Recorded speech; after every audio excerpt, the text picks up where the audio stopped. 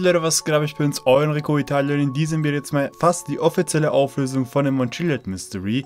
Falls euch das Video gefallen hat, würde es mich sehr freuen, falls ihr eine positive Wertung da lassen könnt oder falls ihr neu auf den Kanal seid, würde es mich auch sehr freuen, falls ihr die Glocke aktivieren könnt, dann werdet ihr benachrichtigt, wenn ich ein Video hochlade. Weiterhin könnt ihr aber auch noch bei Extreme an Unlock kaufen, das heißt, da könnt ihr sehr viel Geld in GTA 5 bekommen für das nächste Gun Running Militär Update. Kommen wir nun aber auch schon zum ersten Thema von diesem Video und zwar was passiert eigentlich, wenn alle drei Charaktere vor dem Montchillet Mystery stehen.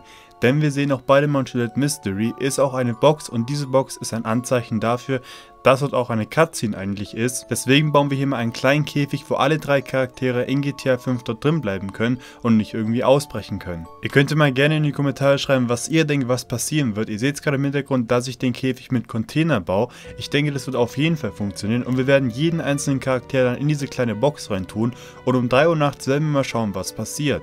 Den ersten Charakter Michael habe ich schon reingetan, er sucht irgendwas an seinem Handy rum, eigentlich nichts besonderes, aber es sieht auf jeden Fall danach aus, dass es funktionieren sollte, denn ihr seht im Hintergrund, die Charaktere verschwinden nicht. Als ich dann Trevor dazugeholt habe, ist wirklich was ziemlich cooles passiert, nämlich die einzelnen Charaktere haben gefragt, ob sie miteinander was unternehmen sollen.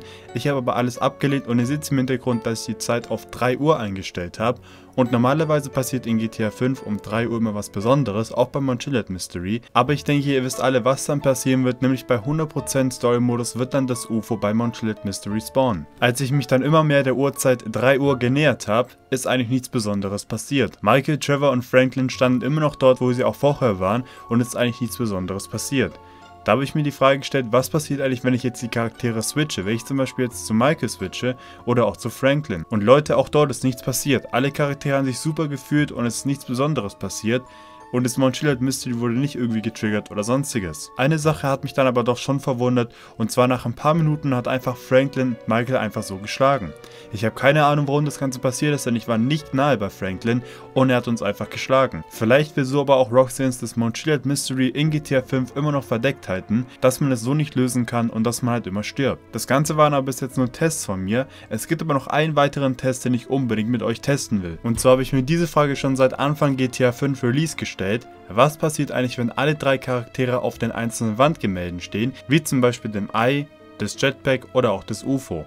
Welchen Charakter wir wo hinstellen, seht ihr gerade im Hintergrund. Und zwar baue ich erstmal wieder eine Box, nämlich auch bei der Maze Bank.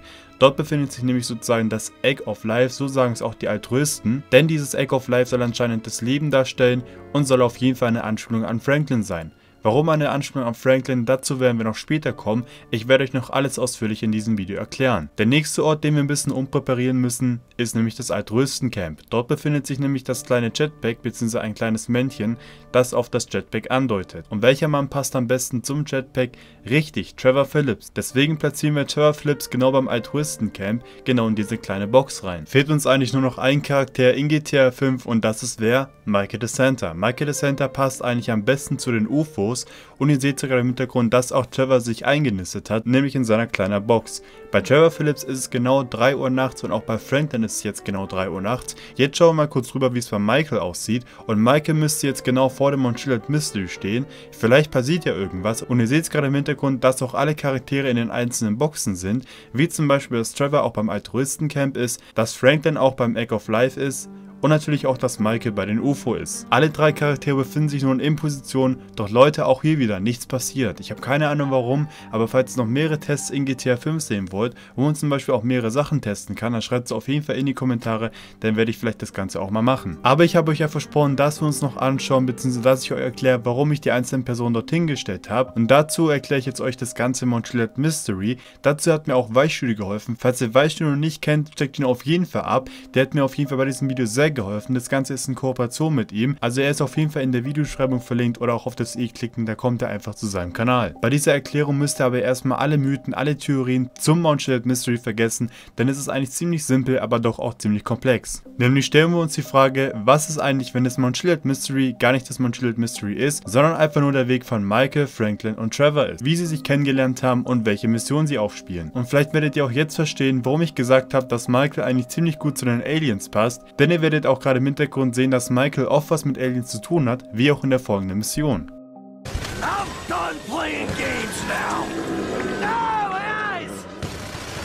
Aber falls ihr euch jetzt die Frage gestellt habt, wer ist dann eigentlich Franklin Clinton und welches Symbol hat Franklin?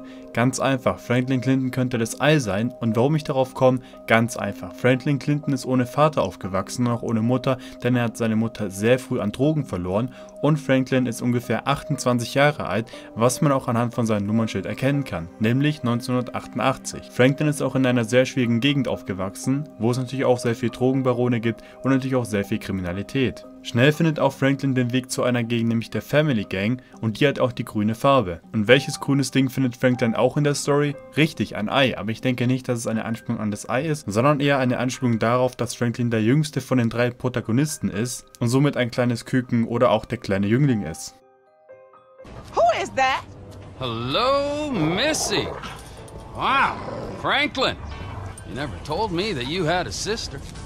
I'm Denise, Franklin's housemate. Da fehlt eigentlich nur noch ein Charakter und der müsste auf jeden Fall zum Jetpack passen, nämlich Trevor Phillips. Warum Trevor Phillips?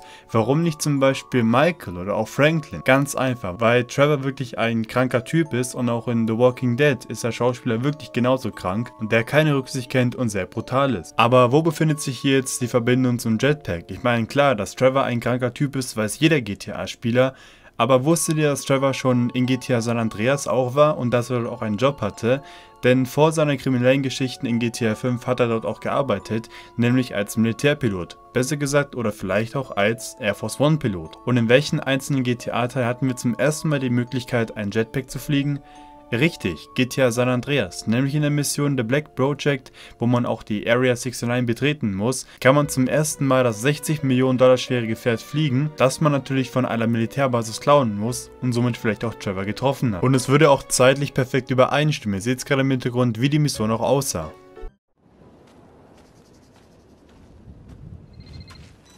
Torino, where are you? Wrong devil, CJ. Truth! How are you? In better shape than you, fat ass. What? Hey, you, you watching me? Can't talk now. I need your help for something special. Come back here when you've lost some weight, Fatso. I'll be waiting. Hey, man, what the... Dang! I ain't that chubby. In den ganzen GTA-Teilen ist wirklich GTA San Andreas der einzige GTA-Teil, wo man einen Jetpack fliegen kann.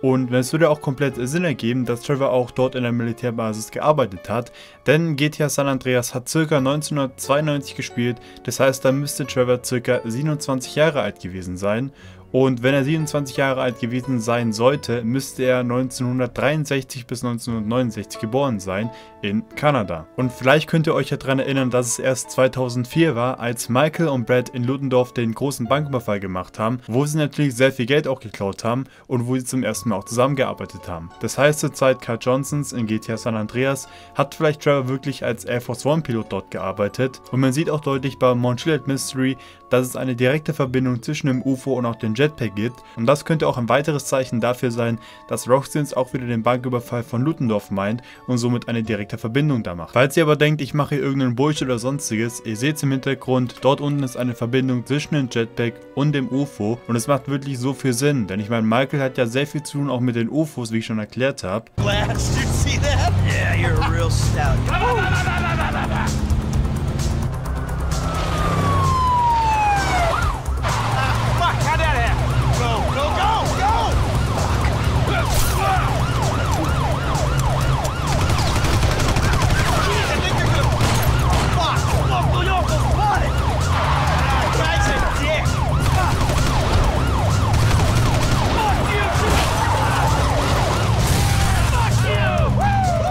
Aber nun die große Frage, wie ist das Montreal Mystery aufgelöst und was bedeutet eigentlich das erste Kästchen über dem UFO von Michael?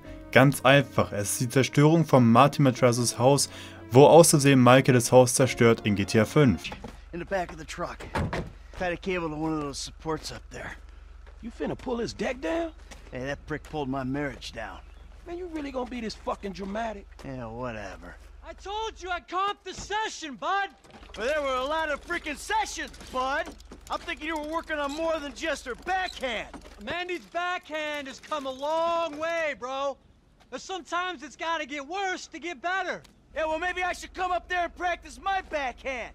On your face! Oh, bud, your negative energy is seriously bringing me down. Oh, I hope it is, bud! We hooked up, man. You come into my house, take my money, and nail my wife? Are you fucking kidding me? I'm gonna stick up my hand and say that was uncool, bud. My bad. Seriously. How fucking magnanimous! May I please offer you my applause? You fucking motherfucker! Dude! Die Box 2, die seht ihr gerade im Hintergrund zwischen Franklin und Trevor, könnte auch der Zeitpunkt sein, wo Trevor zum ersten Mal herausfindet, dass Michael eigentlich noch lebt und ihn verarscht hat.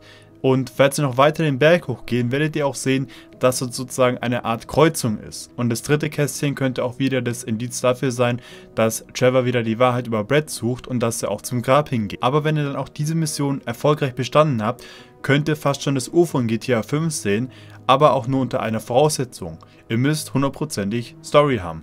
Und wie könnt ihr hundertprozentig Story bekommen? Ganz einfach, indem ihr keinen von den beiden drei Protagonisten tötet. Das heißt, ihr müsst die Option C wählen.